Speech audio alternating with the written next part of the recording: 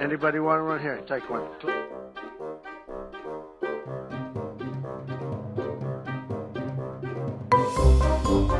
Isn't he a huge business success? Doesn't he know what he's talking about? No, he isn't. And no, he doesn't. He said the steak company. And we have Trump steaks. And by the way, if you want to take one, we'll charge you about what? 50 bucks a steak now. We have Trump Magazine. Let me see the magazine. He said Trump Magazine is out. I said, it is? I thought I read one two days ago.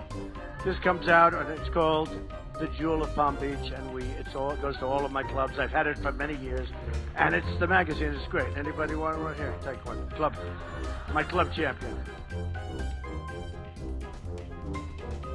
Donald Trump is a phony, a fraud. His promises are as worthless as a degree from Trump University.